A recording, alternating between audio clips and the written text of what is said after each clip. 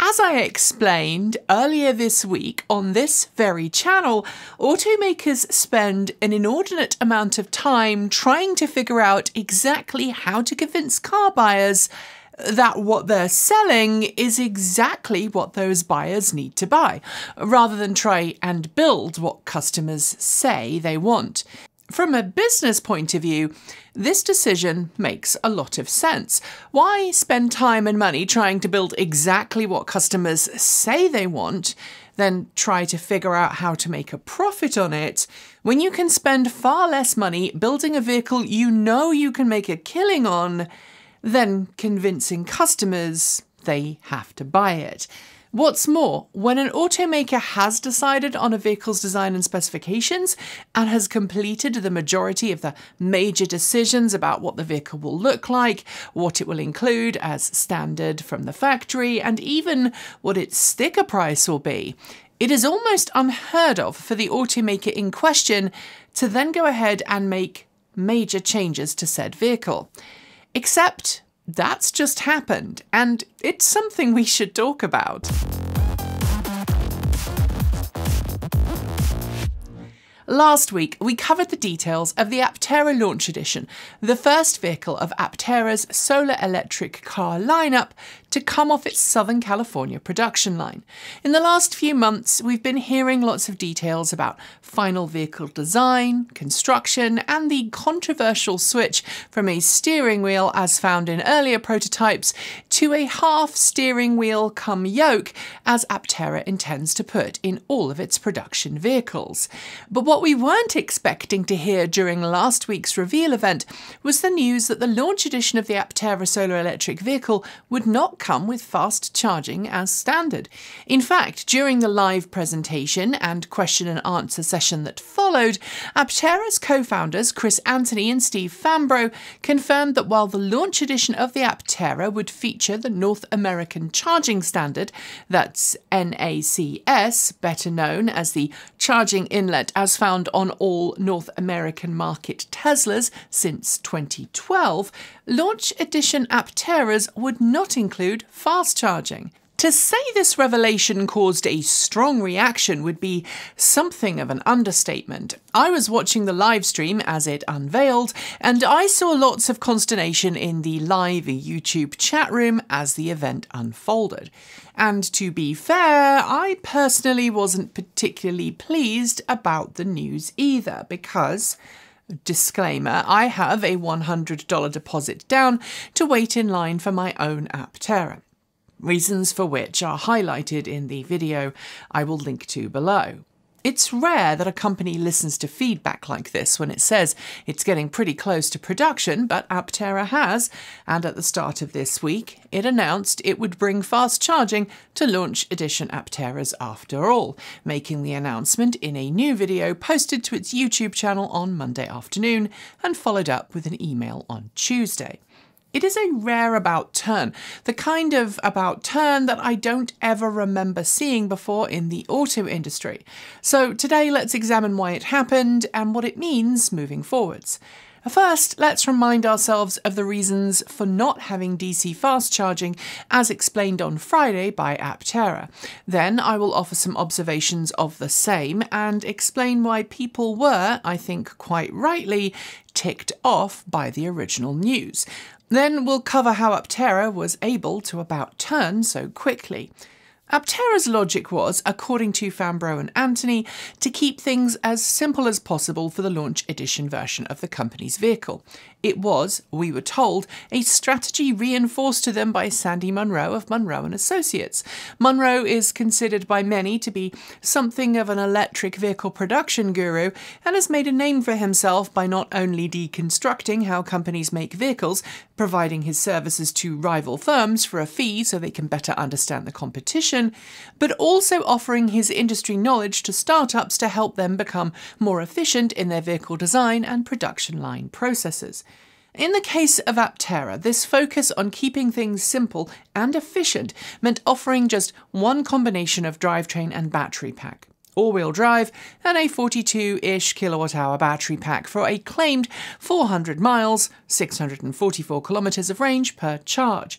Fewer production line options means fewer variations in parts, which in turn speeds up the production line and reduces initial outlay for the company producing the vehicle. On Friday, it was implied that adding fast charging would simply add extra complexity to the production process. At the same time, it was easy to infer from the presentation that Aptera's team believed that fast charging wasn't essential to their vehicle's success. Because of an ultra lightweight design and construction, even with solar panels on the roof, rear hatch, and hood, not to mention a low coefficient of drag of just 0.13, which, by the way, makes the Aptera the most aerodynamic vehicle ever designed for series production, the Launch Edition's claimed efficiency is truly astonishing. It, alongside Aptera's long standing positive attitude towards right to repair, was in fact the reason I decided to stand in line to try and own one. And because the Aptera promises up to 10 miles per kilowatt hour, even at a fairly pedestrian charging speed of 6 or 7 kilowatts AC, that is adding upwards of 50 miles or 80 kilometers of range per hour if you plug into a standard household charging station. Compare that to, say, the 13 miles per hour of the Ford F 150 Lightning on that same charging station, even less for larger, less efficient vehicles like the Hummer EV. And it's plausible that for many people, Aptera was right. You might be able to get by with no fast charging at all, as long as you've got the range. Data from various sources tells us that the average American drives fewer than 30 miles a day, with all but the most remote of citizens driving more than 40 miles per day. Given that Aptera has always promoted the solar electric vehicle potential of its lineup, namely that you could drive 40 miles per day in Southern California and never charge, as long as you park outside, I can at least rationalise that sentiment, even if I feel, personally, that it was a misguided one. Why do I think it was misguided? Simply put, practicality. Not every Aptera customer is going to live in sunny Southern California, and not every Aptera customer is going to use their solar electric car to do just daily driving duties. Sometimes they may want to go longer distances in it. While the vehicle is super efficient in its design and in the launch edition, it might be able to drive far further than you'd likely be comfortable driving in a single sitting. Being able to stop and top off for just 10 minutes is preferable to stopping for an hour to get another 100 miles, 160 kilometres of range on board. Then there's the practicality of charging infrastructure. Modern electric vehicle charging infrastructure, road service stops on freeways and motorways, are almost exclusively targeted to cater for vehicles that can fast charge. That never used to be the case, but it has become the case. And given the decision to use NACS, but not have supercharging, it would also necessitate carrying a J1772 adapter to use all of those level 2 chargers that are out there and generally difficult to find. Ignoring fast charging in designing and engineering a vehicle means that customers who do want to road trip are left trying to find alternative charging stops, stops that may be less easy to reach or require more of a detour to use, as is the case for level 2 versus fast charging infrastructure. As someone in line to buy an Aptera, I was personally concerned, in fact, about Friday's news for that reason. One of the reasons I want to be able to own a super efficient vehicle like the Aptera is for around town errands when I don't want to take the F 150 Lightning, but the other is to make longer distance trips when we are not hauling stuff for the company in the truck we have a family in the Midwest of the US, and being able to drive pretty non stop with two people swapping out driving is almost as quick as trying to find a last minute flight, driving to the airport, taking all kinds of detours, and honestly, it's certainly more flexible. Stopping only to pee and then hit the road again also helps cut down emergency travel time, as long as you have more than one driver, of course. And if you are travelling places where you're not safe, not having to wait while your car charges is also, frankly, a bonus. As is being able to recharge as quickly as possible when you really do need to refuel. Of course, there were all kinds of rumours behind the scenes and on forums that weren't confirmed or denied by Aptera, and I'm going to go into some of them here, not because I agree with them or because I think they have any kind of truth, I'm just listing them to cover some of the rumours that have been discussed. Uh, for transparency's sake, they have not been substantiated, though, by Aptera. Some people suggested that Aptera didn't want to deal with the extra cooling that would come from fast charging small capacity battery packs packs. The smaller the battery pack, the harder it is to fast charge it without requiring significant pack cooling. And of course, Aptera uses the body of the vehicle to keep the battery pack cool. Other people have said it was about weight saving. Eliminating fast charging means that there were fewer components in the vehicle, which in turn makes it lighter. Other people have suggested that maybe Tesla had not come to an agreement with Aptera over licensing its supercharger technology. As Kate details in this video, link below, while Tesla has made the North American charging standard available to all, access to its superchargers is still, for now, gated. Although, as of filming this, we're starting to see some evidence trickle out that that is about to imminently change. With all of that out of the way, let's discuss this about turn. I know that I'm not the only person who watched the live stream on Friday and had the reaction that I did.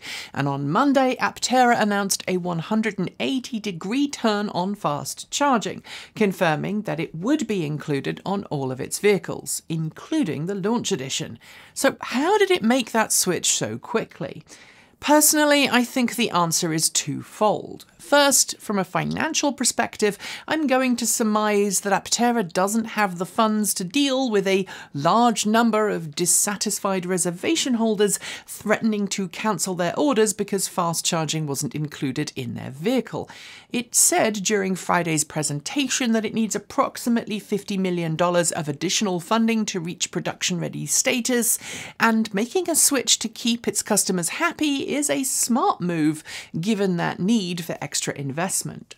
Second, Aptera said on Monday that earlier prototypes of its vehicle did include fast charging, with space on its PDU, which I assume is power delivery unit, set aside for the required fast charging components to make fast charging a reality. When Aptera thought it was going to be forced to use the CCS charge inlet, the combo plug design that all other non Tesla EVs use in North America, that is, except the Nissan Leaf, it paused development on the fast charging elements of its vehicle, as it didn't have, quote, line of sight, end quote, to said PDU. Now Aptera has switched to NACS and says it can reintroduce DCFC to vehicle design, resuming the work it had previously paused on fast charging to bring fast charging to all Aptera Launch Edition models and subsequent Aptera models after that. We were told on Monday that will translate to between 40 and 60 kilowatts of DC fast charging for launch edition models, although neither Steve Fambro nor Chris Anthony would elaborate beyond that, as we can infer, further engineering would need to be undertaken to get full final spec.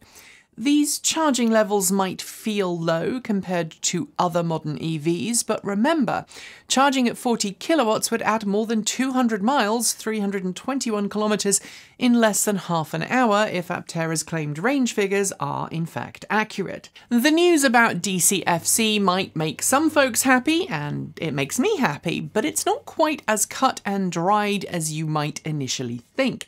As Kate pointed out on that video about Tesla's NACS push, it takes more than a physically identical connection to initiate fast charging at a Tesla supercharger, and there's nothing we've seen yet that tells us if that's something that Aptera has already figured out, still needs to figure out, or will instead be implementing what amounts to CCS charging using the NACS connector. What we can say, however, is that implementing what amounts to a pretty large change in vehicle design this late in its development process might be quite interesting for the team at Aptera, even if initial development work was done many months ago. For now, then, we should be cautiously optimistic, but until I've actually seen and interacted with Aptera's solution to this problem, it is best to hold out on a final verdict. So, I'm sure many of you want to know if I'm keeping my reservation. For now, I am, but I am going to admit that Aptera's need to raise extra capital before production should give everyone who has got in line a reality check on actually seeing finished production vehicles just yet. And on that note, we are done with today's video. If you liked it, you know what to do, and feel free to tip us with a super thanks. The comments are open for your thoughts, as is our Discord chat room, link below. If you want more, subscribe, hit the bell, and follow the links to regularly support us with a YouTube membership or a Patreon subscription. You'll also find links to our Ko-fi, Bitcoin, and Swag store, and check us out on Mastodon. We have our own server. Scrolling on my right is a list of amazing Charged Up supporters. If your name is not there and you recently joined, we had an amazing number of people join. Please be patient, we're working on adding extra names. And shout outs go out to our self driving tier supporters Mike Weeder, Tony Moss, Linda Irish, Sean Tucker, Patrick Boyarski, Paul Nelson, Chris Maxwell, Brian Newton, Michael Goad, Bennett Elder, Andrew Martin, Pedro Moore Pinheiro, Brophy Wolf, Chris and Michael Johnson, Tazza and the Gong, Dan Blair, Peter Dillinger, Gordon C., Stephen O'Donoghue, Carl Hodgson, Anthony Coates, Regine Fellows, Denny Hyde, Chris Ascento, and Jim Burness. Finally, out of this world, thanks to our top tier supporters Robert Flannery, CPU Freak 101, Andrew Glenn, Anonymous Freak, JP Fagerback, Joe Bresney, John Lyons, Rory Litwin, Kevin Barrowbridge, Dave Kitchen, Aaron Hahn, Laura Reynolds, Marcel Ward, Matthew Drobnak, Paul Conway, Reggie Watts, Will Graylin, and Ian. I'll be back soon with more content, as will the rest of the team, but until then, enjoy the rest of your day. Keep evolving! So I know many of you will want to know because I would want to know if I was watching this video. Yes, that is a real PowerBook 5300 in the background. Yes, it turned off, the, the display turned off while I was filming, but uh, we are, we have a small collection, or I have a small collection of uh, vintage classic Macs, and one of the things I want to do moving forwards is to switch them out occasionally. Um, so you get to see some of the cool old vintage Macs that I have a love for, and I know many of you have a love for. This is real, it's not like photoshopped or anything. In fact, I'm gonna go and press a button right now so you can see that it is, in fact, real. So if you have an old vintage Mac that you would like us to have in the collection, um, just let us know. We'd, we'd love to offer it at home because vintage Macs are cool. It, it's a lot of my, my past.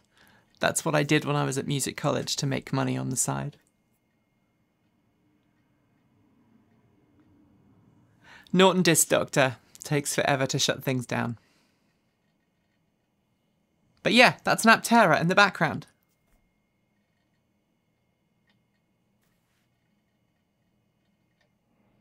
And it goes.